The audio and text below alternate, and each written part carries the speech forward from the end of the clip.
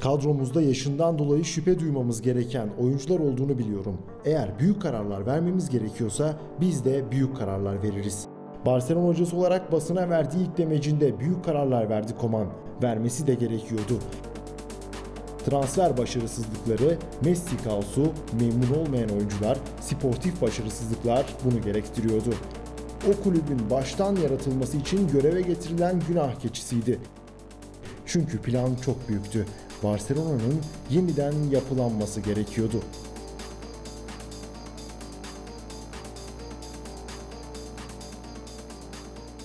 Şimdi bu yolculuğa başından başlayalım. 2014 yazına gidelim. 2014 yazı Katalan ekibinin kadrosunu gerçek anlamda güçlendirdiği son seneydi. Ter Stegen, Luis Suarez ve Ivan Rakitic şehre indi. Tam 165 milyon euro harcandı. Sezon sonunda 3 kupa geldi. Kimse için sürpriz değildi.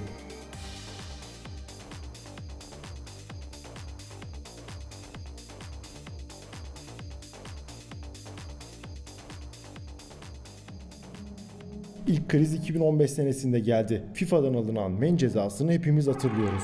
O dönem Barcelona'nın yolunu tutan Arda'yı Camp Nou çimlerinde izlemek için 6 aya yakın beklemiştik. Arda'nın yanında bir de Arturo Vidal vardı. Harcanan bedelse toplam 51 milyon euroydu. 51 milyon euro 6 ay boyunca yattı.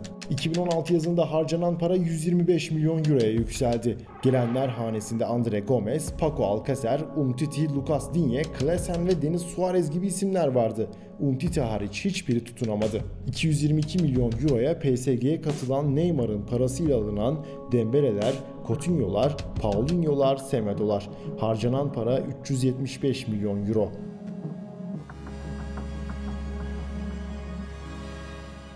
Çok uzatmanın alemi de yok. 2014 yılından bu yana her transfer döneminde yere çakıldı Barcelona hem de yüzüstü. 6 yılda tam 900 milyon euro harcandı. Hiçbiri dikiş tutturamadı. Sorun kimdeydi? Başkanda mı, hocalarda mı ya da yoksa Lionel Messi'de mi? O artık yılmıştı. Kontratının son senesinde Messi yönetimden de, hocalardan da, sahada oynanan oyundan ve saha dışındaki akıl oyunlarından da bıkmıştı. Bayern hezimetinin ardından da tutamamıştı artık çenesini.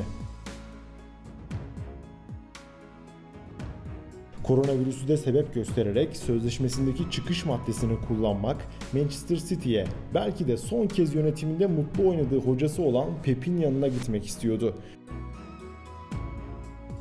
Ancak Barcelona yönetiminin operasyonu bambaşkaydı. Rejenerasyon. Transferlere son 6 sezonda harcanan para ortadaydı. Bununla eş zamanlı olarak dünyanın en büyük oyuncu fabrikası olarak gösterilen La Masia'da üretmeyi durdurmuştu. Pep'in dünyaya hükmeden kadrosunun üreticisi La Masia'ydı. Messi, Xavi, Iniesta, Pique, Busquets, Valdes ve Puyol o sahalardan çıkmıştı. Ancak son duruma bakıldığında Barcelona A takımına çıkıp takıma etki eden son La Masia mezunu Thiago Alcantara olarak gözüküyordu. O da 2013 yılında 18 milyon euro gibi komik bir rakama ayrılmıştı takımdan.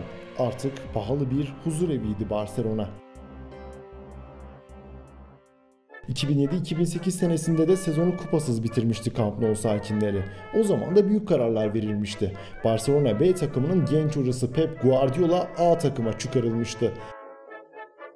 Pep'in ilk hamleleri de Koma'nın az sonra anlatacağımız ilk hamleleri gibi büyük ve cesur hamleler olmuştu. Artık 30'larına merdiven dayamış Ronaldinho, Deco gibi yıldızlar takımdan ayrılmış, Seydou Keita, Dani Alves gibi sonraki dönemde takımda şanını bırakacak oyuncular ekibe katılmıştı. Pedro, Busquets, Pique gibi La Masia mahsulleri de takıma adapte edilmişti. 2008 yılından bu yana tam 12 sene geçti. Şu an neredeyse hala o dönemki isimlerden oluşan bir Barcelona iskeleti görüyoruz Camp Nou çimlerinde. Şimdi gelelim 2020-2021 model Barcelona'da neler olduğuna ve neler olması planlandığına. Yönetime göre 30 yaş üstü oyuncular elden çıkarılmalıydı. Hem de ne pahasına olursa olsun. Konu para kaybetmek de olsa bu değişimler yapılmalıydı. Ya da kaz gelecek yerden tavuk esirgememek de olabilir bunun adı. Nasıl mı? Barcelona yönetiminin sancılı geçen sürecin ardından Suarez'i Atletico Madrid'e bıraktığı bonservis bedeli 7 milyon euroydu. Aynı şekilde Ivan Rakitic'in yolunu tuttuğu Sevilla eski oyuncusu için sadece 2 milyon euro çıkardı kasasından. Hatta Arturo Vidal Inter'e 1 milyon euronun altında bir bonservis bedeline transfer oldu. Transfer market verileri bize Barcelona'nın bu 3 oyuncudan 80 milyon dolara yakın bonservis bedeli elde edebileceğini söylüyordu. İşin aslı ise tabii ki yıllık bilançolarda saklıydı. Peki Barcelona neden oyuncularını bedavaya satıyor? Kulübün tüm giderlerinin %83'ünü oyuncu maaşları oluşturuyor. Tam 510 milyon dolar. Tahmin etmek pek zor olmasa gerek. Lionel Messi'nin başını çektiği maaş listesinde 3. sırada Suarez var. Yıllık 25 milyon euroya ulaşan maaş yüküyle takımdan ayrıldı. Listedeki 6. isim olan Rakitic de Suarez'le aynı kaderi paylaştı. Onun da yıllık maaşı 15 milyon euroya yakındı. Vidal ise bu listede 10. sıradaydı. O da gitti. Bu sene yapılan temizliğin ise devam etmesi bekleniyor. Hem de bu şehre isimlerini altın harflerle yazdırmış oyuncularla. Busquets artık 32 yaşında ve onun da maaş listesinde kapladığı yer epey büyük. 5. sıradaki Busquets'in maaşı yıllık 20 milyon euro. Busquets'in yanı sıra Pique, Umtiti, Dembele gibi isimlerde takımdan ayrılmasına karar verilmiş isimler olarak yazılıyor. Bu üç ismin yıllık maaşları 40 milyon euroya yakın bir toplama ulaşıyor.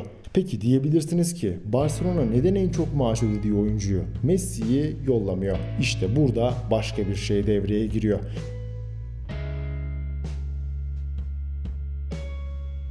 Barcelona şehrinin bir hayali var. Yeniden yapılanan takımı yeniden Messi'nin üzerine kurmak. Onu evinde kalmaya ikna etmek.